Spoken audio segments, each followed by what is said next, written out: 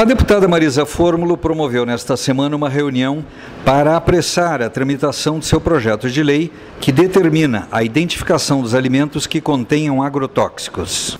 O nosso objetivo é o de agregar forças em torno do projeto de lei que está nesta casa, que trata da obrigatoriedade de identificar-se nas prateleiras onde tem produtos in natura, a identificação que diga produzido com agrotóxico.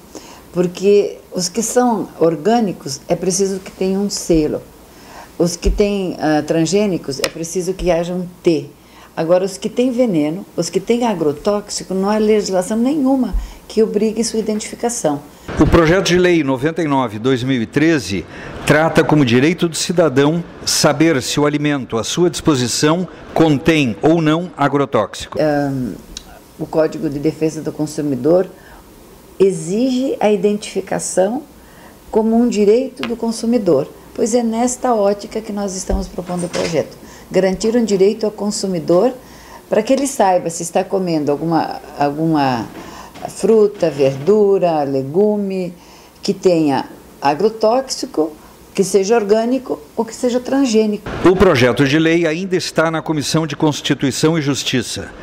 O relator, deputado Frederico Antunes, em agosto do ano passado deu parecer favorável, mas em dezembro o alterou para contrário.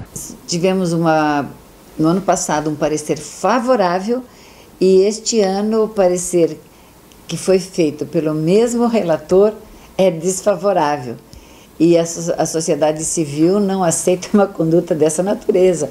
Inclusive, hoje na audiência pública ficou claro: cada um dos cidadãos deve acompanhar os deputados que compõem a comissão, a conversar com cada um deles para que seja derrubado o parecer contrário e para que se refaça tendo um parecer favorável.